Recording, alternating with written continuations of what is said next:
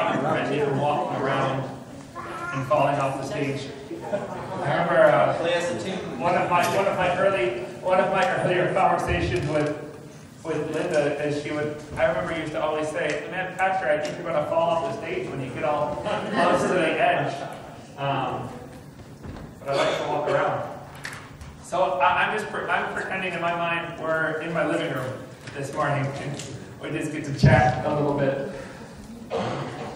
I have been encouraged I've been encouraged about what God is doing in our church body. Uh, it's been a blessing. Uh, Rachel and I look. Uh, Rachel's a little bit more of a calendar person than I am, uh, and she's like, "Hey, next Sunday will be six months since we've become the lead pastor yeah. at, at City Church." Yeah. And, uh, and it's so it's so awesome. Uh, so next week, uh, next week is going to be a good, a good gathering as well. I think every time we gather is awesome. I feel bad. So like uh, when I'm preaching, one thing I do is I walk and I can look at everybody, and so I have to turn here and miss Mary. And, uh, but anyway, I'll have to survey a little bit. All right. But uh, next week is going to be an awesome time. We have our state superintendent coming. His name is John Davis. And so uh, Capital City Church is an Assembly of God uh, church, and there are over, I believe, over 150 Assembly of God churches in Wisconsin. And so John Davis oversees all of them. He helps give a direction and guidance and, and spiritual oversight. And so I invited him to come. I didn't even know that next week that it lined up with the six month kind of thing, but it, but it's neat that we get to have John come and speak and I'm encouraged. He has a pastor's heart. He loves the presence of God. He loves to pray. And so I'm believing that next week will be another time that we just get to uh, receive from the Lord. So if you uh, if you have been here for the last few weeks, you know, or maybe the last few months, we've been going through Matthew chapter 5. And we've been looking at the Sermon on the Mount. And as I've, as I've looked at the, the words of Jesus in the Sermon on the Mount over and over and over again, I find myself challenged. Uh, it challenged me at the deepest part of who I am. And, and last week was no different. We looked at Matthew chapter 5, verse 27 through 30. And, and in this passage, uh, Jesus says that you have heard it was said, You shall not commit adultery, but I say to you that everyone who looks at a woman with lustful intent has already committed adultery with her in his heart. And then he goes on to instruct us if your right eye causes you to sin, tear it out. Uh, it is better for you to lose one of your members and your whole body be thrown into hell. And in verse 30 it says, And if your right hand causes you to sin, cut it off and throw it away, for it is better that you lose one of your members than your whole body go to hell. And I confessed last week and again as I was reflecting on this passage, uh, it's a, I thought it was a, a, heavy, a heavy topic to tackle. And, and as I looked at the Sermon on the Mount ahead of time, I said, wow, these are, these are some real topics, some in your living room, in your face kind of topics. But I love the way that Jesus addresses this issue because the religious leaders of the day were able to say without a doubt, hey, I've never committed adultery. I've never touched that woman or I've never gone to that extent with somebody. And Jesus begins uh, throughout the whole Sermon on the Mount, but specifically in that passage, to address the issue of the heart. That it's not just the physical things. Maybe many of us in this room say the same thing, like the religious leaders of that day. Oh, I've, I've never gone that far, or oh, I've never done that thing. But Jesus says, look at the heart, and the, uh, and the heart is what matters. It, it says that if we look with lustful intent, if we've examined, if we've told them with our desires, and we looked a little bit at the fact that, God, that we have been given God-given desires. We've been given desire for sexuality, and, and that these things are good when they when they are um, when they are done and used in the confines that God has designed them for. And in this following part of the scripture, though, I, I thought last week, you know, um, I didn't bring any eye picks or, or meat cleavers to cut off any hands or pick out any eyes. And so we examined what Jesus was getting at because I, I proposed that because Jesus said it was a heart issue and it wasn't a physical issue, that, that the words that he spoke of, cutting things off of our bodies, was also a heart issue or a spiritual issue. And we found that the sword of the Spirit in Romans chapter 13, verse 8. It says, By the Spirit we should put to death the things of the flesh. And so we looked and found that the, Spirit of God it, it represents the sword of the Spirit, and it's by His Word that we're able to cut and receive from Him and remove these unhealthy desires from our hearts. And as I finished the conversation, uh, the message last week, I, I thought to myself that there's so much more to unpack on this subject, especially of desires, the desires that we've been given. And, and the way that, it, that oftentimes the enemy will use a God given desire and will thwart it or he'll, uh, he'll, he'll pervert it in, in a way that leads us to sin instead of its intended target. God has given us desires of our heart, deep rooted desires of our heart for good, and that is to find Him and to find satisfaction in Him. But we'll see today that even from the beginning, uh, the enemy has tried to use created things to uh, for us to meet our desires through created things rather than our Creator. And so today we're going to move from Matthew chapter 5 today and go to Isaiah. So let's look at Isaiah chapter 55 this morning.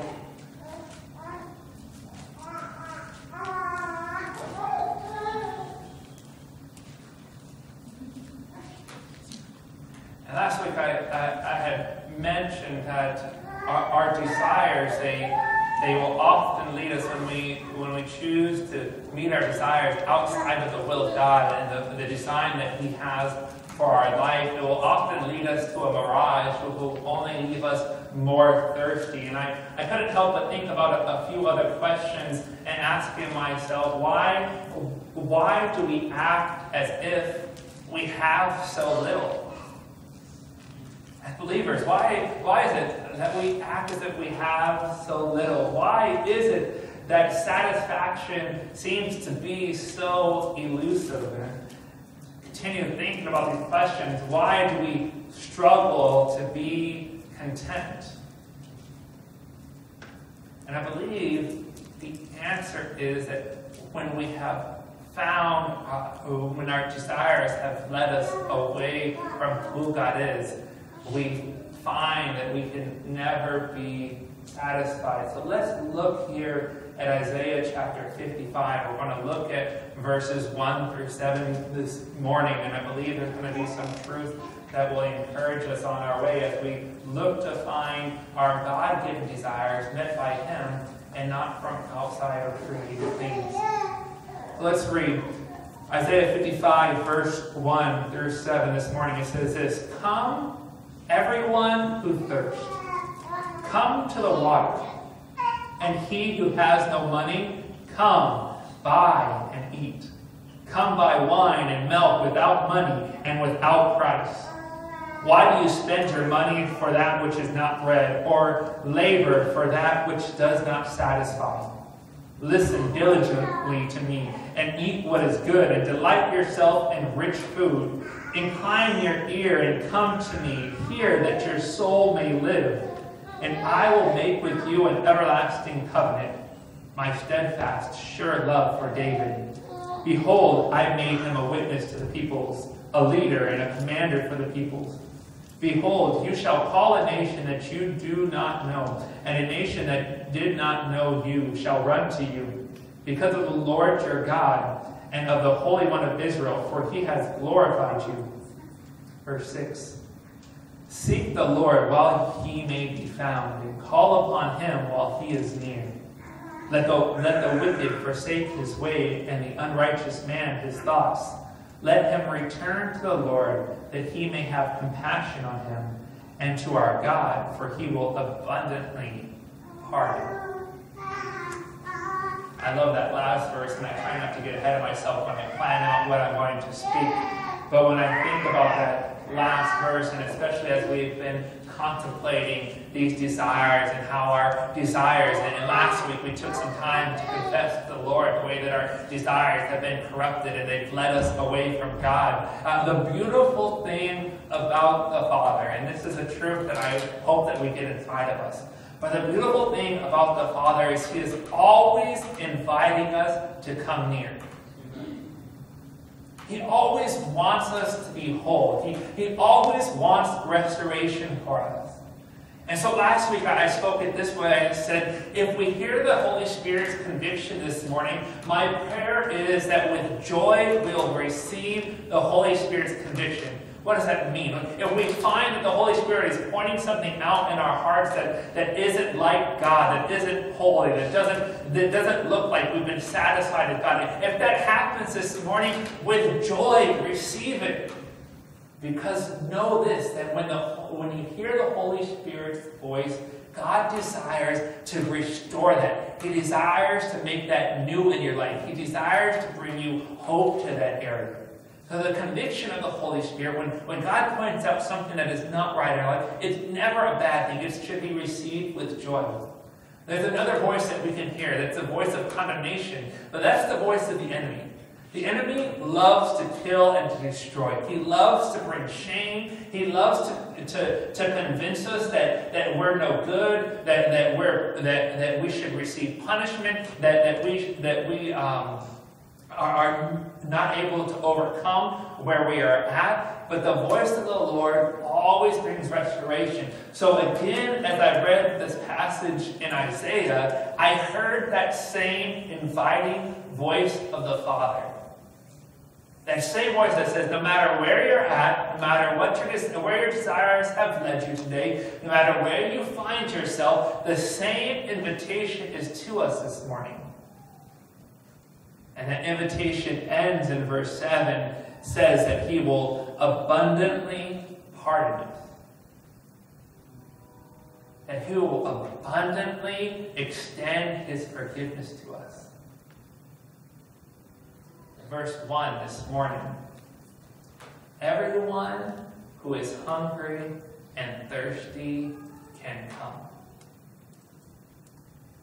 I liked it when I read it uh, again this morning in this moment, again bringing this to my attention that in verse 1 it says, He who has no money can buy and eat. Without money, without price. This morning we we spoke about the fact that Jesus, was saying about the fact that Jesus has overcome, that, that he has victory. For this morning, Jesus paid the price for all. And so no matter where you find yourself this morning, no matter what your background is, I'll repeat this over and over again, Jesus invites us, the Father invites us to come, and it's without price. He has bread for us. He has the exact things that is meant to satisfy. So in this passage, God put our spiritual hunger and thirst for every human being. It should lead to Him, to Jesus.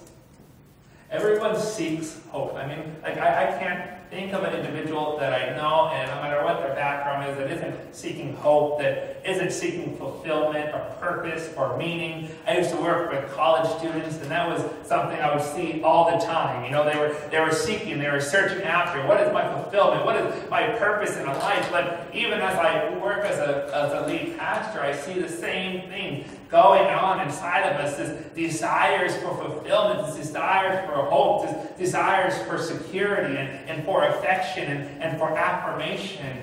And these things, I, I want to say boldly today, they will continue to go on as a void inside of you until you are willing with all of your heart to say, Lord, come and satisfy me until we are able to say, God, I come to you, I receive from you, it will continue to be an issue of avoidance in our hearts. Desires, I believe, uh, fulfillment and all these things, they're a good thing. They're a grace. They're from God, but they're also a danger. They're a grace from God because God knows He, he designed us and he, he gave us the longings of our heart, knowing that He was the one that satisfies us. In Romans, we'll look at this in a moment, but in Romans it says that, that we have traded uh, worship and we, we've traded honor of God for created things rather, rather than the Creator. That is the danger in our desires. The danger is that, that our desires can become twisted, and, and like last week I said, they, beca- they can become self satisfying to where we desire things for ourselves. But in Romans chapter 1, verse 25, this is what it says. Romans chapter 1, verse 25, it says that they exchanged the truth of God for a lie. Remember last week we, we looked and examined at the fact that, that, um, that sin is deceitful. It, it, it blinds us to what God has designed and what God wills for our life. And what is the solution? That's why I said the sword of the Spirit is the solution to cut out the lust in our hearts, because the solution is truth. Whenever you meet somebody, whenever you know a close uh, a friend or a family member who is deceived, they're going wrong along the wrong path, what, what do you do? You, you bring up facts to them, you bring a study to them, you, you try to bring truth to them. Well, Jesus, the, the Word of God, it is the truth. And so we find that our the danger in our desires is that we'll exchange the truth of God, we'll, exchange what God designs to satisfy us with for a lie. We worship, it goes on to say, we worship and serve the creature rather than the creator. What happens when we go down this path, exchanging what God designed for us for the things that are self desires? And verse 28, it says this. As you continue on in, in Romans chapter 1, verse 28, it says this. They were filled with all manners of unrighteousness. If you read through this passage, and I encourage you to do so, read through Romans 1, it, it talks about how that their, their sins, the way that they've gone after created things rather than the creator, all of a sudden their, their, their sin becomes twisted and, and it even becomes unnatural. It, it goes, it, it kind of goes in order. It says, hey, at first we, we start getting angry and we, we start uh, thinking murderous thoughts, and then it goes into twisted behaviors and, and, and perverted behaviors. And, and, and, that's what our sins, our desires, unmet by the Father, will lead us to places that we never desire to go And last week and this week, I'll repeat that. If you find yourself in a place that you never intended to be, the opportunity again today, just as Isaiah chapter 55, verse 1 says, to come. Come to the Father. He's inviting you to be satisfied by Himself.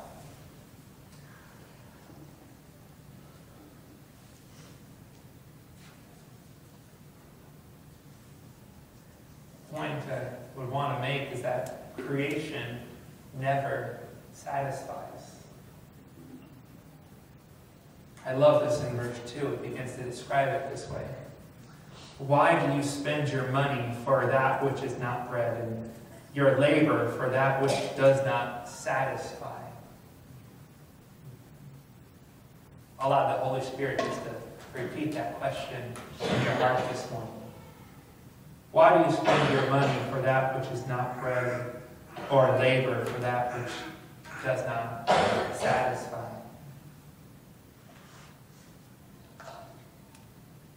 It goes on to say, Listen diligently to me and eat what is good. Delight yourself in rich food. There's a contrast here for those who learn to satisfy the soul and those who do not. Jeremiah chapter 2, verse 13, it, it brings it up this way. It says that you've turned away from me. This is God speaking to his people. In, in Jeremiah chapter 2, verse 13, he says, You've turned away from me the living spring of water and they have dug their own wells, which are broken wells, and they cannot hold water.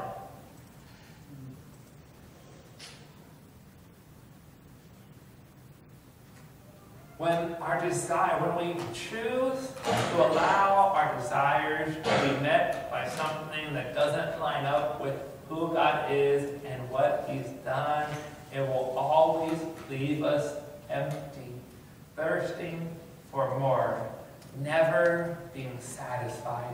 I have to receive it again.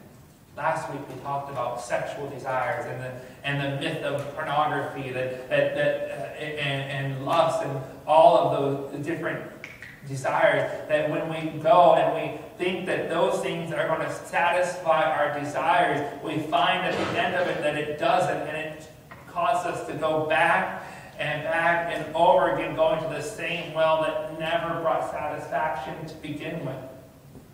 This morning I wanted to look at, I, I was thinking about, about uh, I was thinking about seven different desires that we have.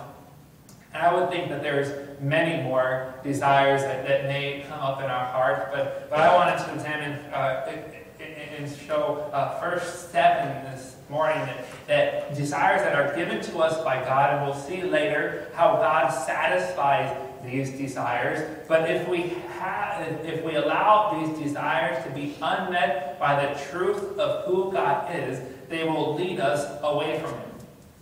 So let me let us look together at these. Uh, the first one that I, as I thought about it, and, and now as a, a, a, newer father, I get to see in my son all the time. But it, it is a desire for attention. A desire for attention. A desire, this desire, it looks like a, a longing for people to like me. It's actually a, a healthy thing. As we, as we talk with different therapists and it's a, it's, a, it's a good thing that we desire to be liked. It's a, it's, a, it's a healthy thing to desire attention. But when we find that this desire for attention is not met by the Father in heaven, we're going to get to how He meets us. Uh, it will lead us to going places that we never intended to go. I desire someone to like me, and it will lead me to behavior. It will lead me to do things outside of the will of God for our life because I'm desiring the approval of others, the attention of other people. Uh, the second uh, desire that I found uh, common to many is a desire for affection. I mean, I don't know about you, I, I long to be enjoyed. I long that others would take pleasure in me, that they would enjoy me, that I, that I can receive from them affection. This is one area I see in, in the area of relationships that the enemy uses so often to, uh, to bring about a creation rather than the creator. We so long to have the affection, we so long to be enjoyed that we go after relationship, relationship with others, whether it be a romantic relationship or even in friendship, where we go after the enjoyment of others, that others would take pleasure in, in me. Third desire that I see often as I interact with others is a desire for affirmation, a longing to be known. Can't wait to release that book to be known. I can't wait to uh, say the next best uh, thing on Facebook or Twitter or, or Instagram. I, I, I long to be known, to next, have the next best hit, to, to work harder, to show that I am better than everyone else. I, I have what it takes. I long for approval, a desire for affirmation. Fourth desire I see common in life is a, as a desire for acceptance. I long to belong. I, long to be in the in crowd.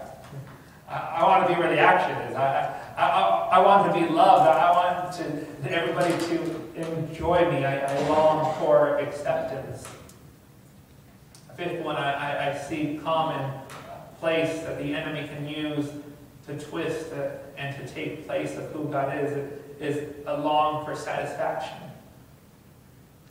Uh, I, I know many people have come to me who have spoken of a, a desire to work and, and are working themselves to death, a, a long for fulfillment. I, I got to fulfill myself, and the only way that I know to fulfill myself is when I accomplish something. So I want to accomplish more, to have more fulfillment, to be more satisfied. I long for well-being. I, I have to establish myself in, in order that uh, I'll be satisfied in my old age. I got to work toward it. I got to go after it.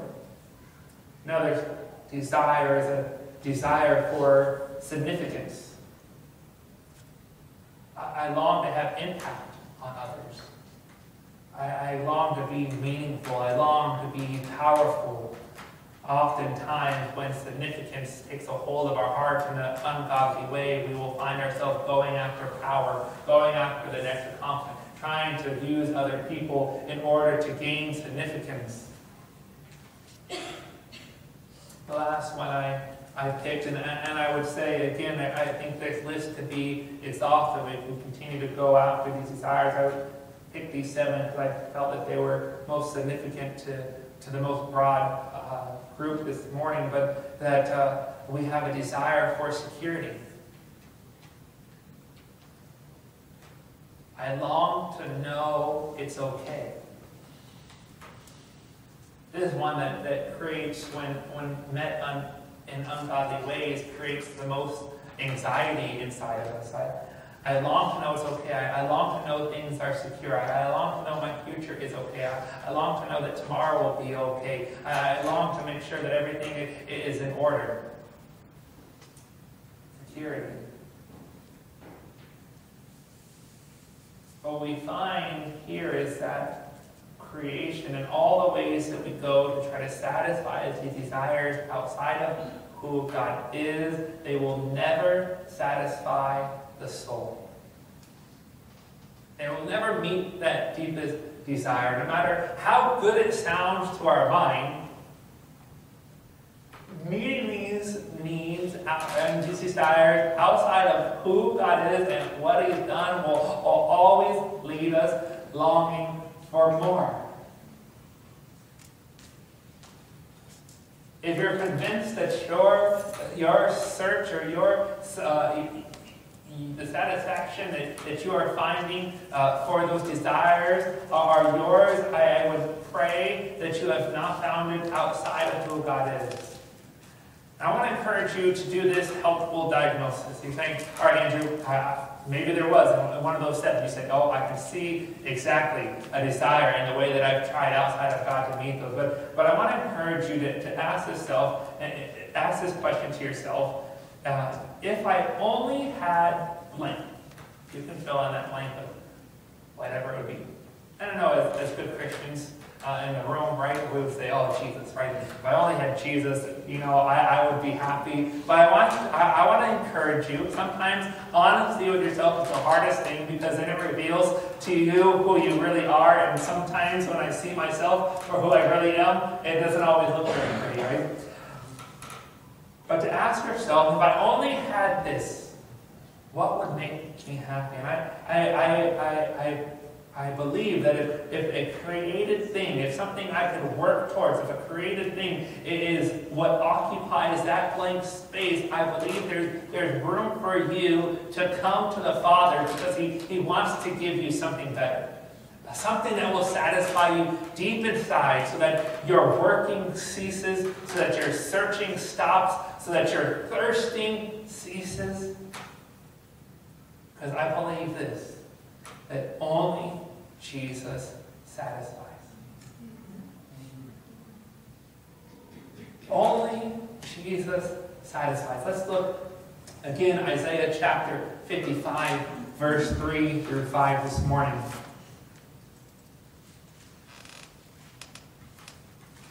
In, in Scripture, there's many different uh, genres of writing. Uh, you may be familiar with them. Some of them in history, some of them are poetry, some of them are prophetic, some of them are accounts. And, and Isaiah is one of the books of prophecy. And, and so prophecy is usually a, a foretelling of something to come. It's a word that's given directly from God himself. And so in these next uh, three verses, verse 3 through 5, we, we see a prophecy. It's a prophecy given, and it's about Jesus himself. So let's read with that lens this morning, these verses, verse 3 through 5. It says, Incline your ear and come to me. Man, if, if you haven't already, oh, that invitation is, hear that invitation. All over the scripture. Incline your ear and come to me. Hear that your soul may live.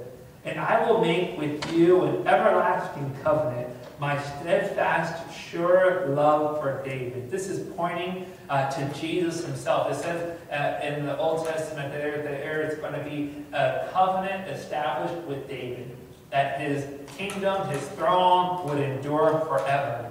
Jesus is the seed uh, uh of David. He, he, he is in the lineage of David. And so Jesus establishing his throne, or like we sang this morning, overcoming death, and establishing victory. Jesus establishes his throne forever. And this is what it begins to speak of in this verse 3. Verse 4, it says this, Behold, I made him a witness to the peoples, a leader and a commander for the peoples. Behold, you shall call a nation that you do not know, and a nation that did not know you shall run to you because of the Lord your God and of the Holy One of Israel, for he has glorified you? Who has he glorified? Who has he lifted up? Who do the nations get the same invitation that every individual received? They get an invitation to come to Jesus. This is so good. I mean, I would want to say so much more. Uh, that, that throughout all of Scripture, the invitation is for all people, every tongue, tribe, and nation. This is not just a New Testament Paul going and preaching to, to every every person. It says from the very beginning, even in the Old Testament scripture here in Isaiah, that all nations, all people groups, every individual was to come and to receive from Jesus, to be blessed by him. Only Jesus satisfies. Sometimes we think, and we have heard in our lives, and when we think about this, only Jesus satisfies, we think about churchy things. Think about our, our Sunday morning uh, attendance, or we think about our, our Bible studies or our missional community uh, uh, times. that, yes, if I, if I come to these things, Jesus will satisfy me. I would say these things are really good. These regular rhythms of our lives of meeting together are, are great things and they benefit us, and we receive so much from them. But I would propose to you that, that it's not from those ah, groupings, those meetings, that we receive satisfaction. What Isaiah is speaking to us is that it is from Jesus himself. Through all those things that are about Jesus. But I, I, I, want to encourage you that in those things don't become a work, don't become, again, another effort, another way in which we're trying to meet our desires. No, Jesus invites us to Him Himself, and that He Himself will satisfy us. So if you're not if you're coming to church on Sunday morning because it's a good thing to do, I want to encourage you, don't come because it's a good thing to do. Don't read your Bible because it's a good thing to do. Don't go to missional community because it's a good thing to do. Do all these things in such a way, in such a condition of your heart, that you're doing them to Jesus and Jesus alone. You come on Sunday morning not to worship because Amy has an amazing voice. You come to, to, to worship on Sunday morning because Jesus deserves all the praise. And, and I want to show him my affections for him. I come and I listen to the Word of God that, that gets spoken every Sunday morning, not because I may or may not be a good oracle or a good, a good speaker. Come because you want to meet with Jesus. Because the words that are shared on Sunday morning are not just human words, they're not just words on a page. They're the words of Jesus himself, and he longs to, to feed you the bread that will satisfy you.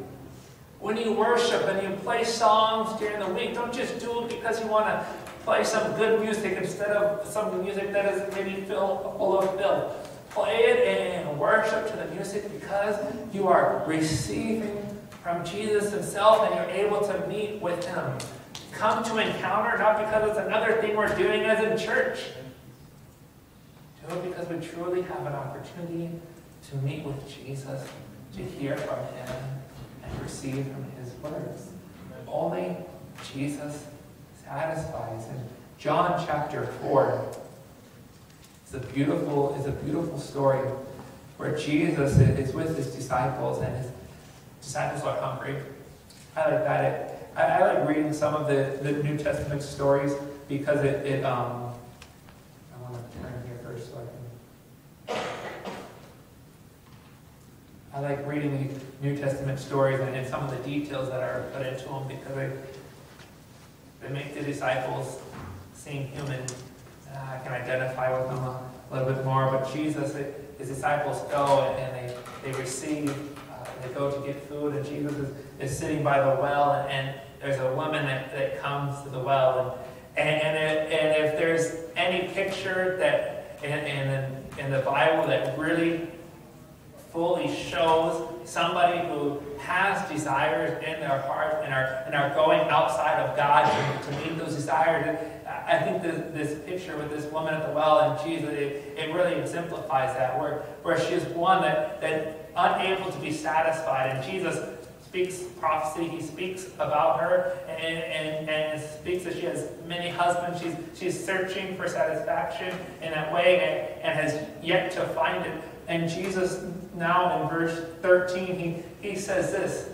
And they're, they're talking about physical water here in a moment. They're at a well and, and talking, but, but Jesus brings this, this truth statement here in, in verse 13, and he says this Everyone who drinks of this water will be thirsty again. He's talking about the, the natural well there. He's also talking about the sin that she found herself in, going to it over and over again and, and not being able to be satisfied. Whoever drinks from that, they'll never they'll, they'll be thirsty again. But verse 14, whoever drinks of the water that I will give him will never be thirsty again.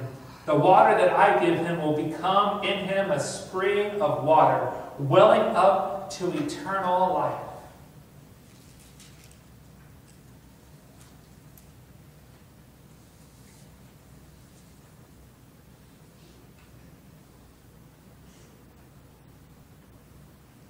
Jesus offers us water that will satisfy. If I'm, if I'm going down these uh, these list of desires that I that I said earlier, the desire for attention. Wow. If I think about who God is, and, and it reveals this in Scripture, Psalms 8, verse 4, it says this, that who is man that you are mindful of him? Or, or Luke 12, verse 7 says that, that God knows the number of hairs on our head, the many or the few. God is attentive to us who is God that, that when we have need, he says he inclines his ear towards us. He, he wants to hear our voice. We have the attention of God Almighty. The creator of the universe. He, he doesn't sit on a throne distant from us, but no, he loves to draw near to us. We have his attention. We have the affection of the Lord. And I love this in, in Zephaniah uh, 3, verse 17. He says that he rejoices over us with singing. We have the attention, Lord. We have the affection. It says in Psalms that he delights in you. You have a Father in heaven that is crazy about you. And I know when we think about these desires, man, there might be people in this room where it didn't have, you didn't have the attention of your, your father or your mother. You didn't have, you didn't grow up in a home where, where affection was well displayed. The Father is crazy about you. He's not annoyed by our problem. He actually, again, as we said over and over in Isaiah, he invites us to come near.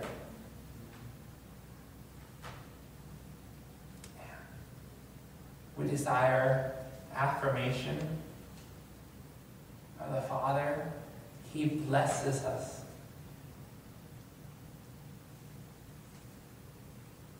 We are his children, and he blesses us.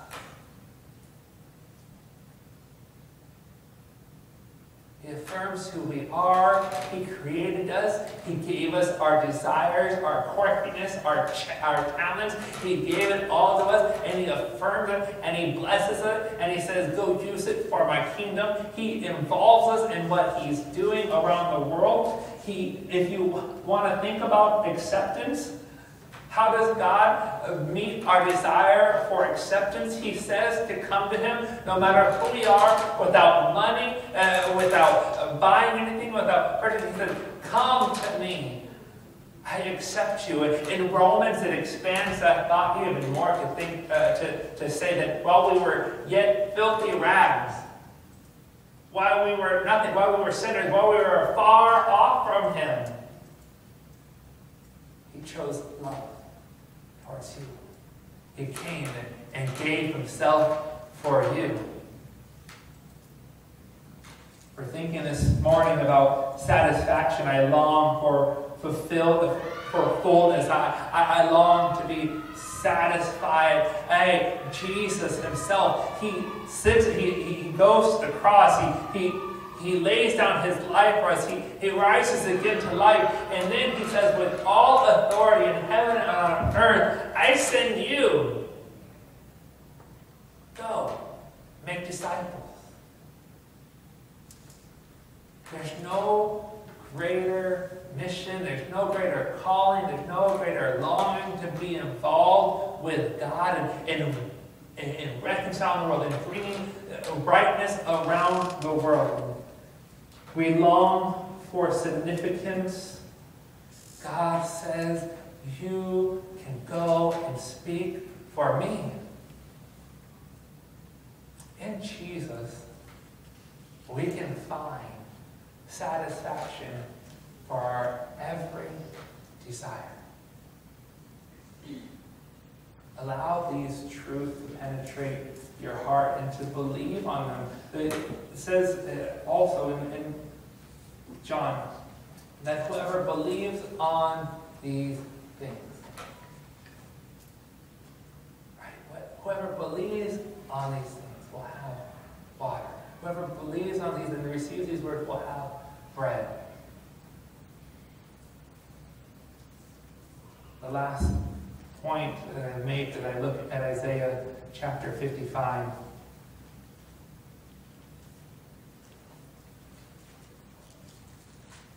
It's this question of when can I be satisfied? Is the calling as a believer to be an eternal want and, and wait, or a future hope that is to come? Isaiah 55, verse 6 says this. Seek the Lord while he may be found. Call upon him while he is near. Let the wicked forsake his way, and the unrighteous man his thoughts. Let him return to the Lord, that he may have compassion on him, and to our God, for he will abundantly pardon. When can we be satisfied? I would propose to you now. Now is the time to be satisfied. Now is the time to come to the Lord, and, and as it instructs us even here, turn, uh, turn or forsake our, our wicked ways, our, our ways that are unlike God. Turn uh, and forsake those ways that we have met our desires outside of who God is and, and what He's done. Turn from them, and He will or may have compassion on you. Turn so that he may have compassion on you and pardon you of all unrighteousness.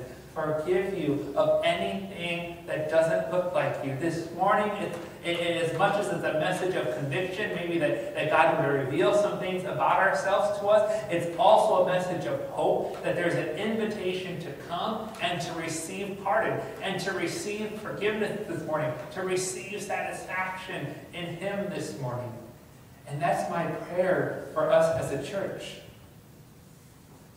Uh, my prayer has been, and, and it was great. Last night we got to meet in, in my office for prayer on the first Saturday of every month. We do that. Uh, but uh, we, we met and we prayed it, and we're praying. We're praying for uh, this word revival. We're praying for a turning to God. And that's my desire for us. And that's my prayer for us continually that we would turn to God, that we would turn to Him and be satisfied by Him. We would search for ways, whatever it is. If we're, if we're if this morning you're, you're unsure, I'm not sure how God will satisfy this desire. I know I'm going after this thing. I, I want to pray with you that the Holy Spirit will reveal that. And again, I want to say my schedule is wide open. As your pastor, I want to meet with you. I want to walk with you. I want to walk this out because God desires for us to have freedom. Our, uh, he desires that we would be whole. He, he desires that we would be satisfied. And, and if you're here and you're like, I'm not sure what that would look like, come meet with me. We'll meet for coffee. I'll, I'll be in the office. We'll do whatever we can to help bring the truth of God to bear on your desires so that you can receive what He has for you. This morning we have an opportunity to respond. And I, I know there's food out there. It's, it's great. But I want to take a moment uh, this morning to respond to the Word of God. Isaiah chapter 5, I'll, I'll read those last two verses again, 6 and 7. It says, Seek the Lord while, you, while he may be found. Call upon him while he is near. Let the wicked forsake his way, and the unrighteous man his thoughts. Let him return to the Lord, that he may have compassion on him, and to pour, and sorry, and to our God, for he will abundantly pardon. This morning we have two opportunities. One is an opportunity to say, Yes, Lord, I will follow you. If you're in this room this morning and you haven't made a decision to say, Yes, Jesus, I want to follow you with my whole life, I want to encourage you in this moment. Take time to pray and say, Jesus, I want to make you Lord of my life. I want to follow you with everything within me.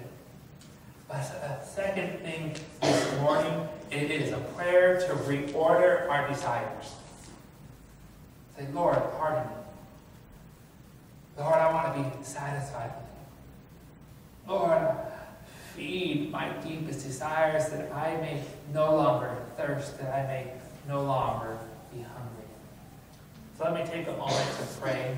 And I want to encourage you to respond. If you need me to pray with you, I'll be here to pray with you. But we want to take a few moments to say, Lord, order our hearts, order my lives, that I may be satisfied in you. Let's pray this morning. Father, I'm grateful for your word. I, I am grateful for the invitation that you extend to us.